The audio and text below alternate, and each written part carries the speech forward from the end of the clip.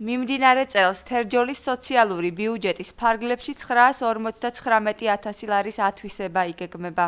ის გასული 2019 წლის მაჩვენებელს 175000 ლარით აღემატება. 2020 წელს თერჯოლის მოსახლეობისთვის სხვადასხვა მიმართულების 14 სოციალური პროგრამა განხორციელდება.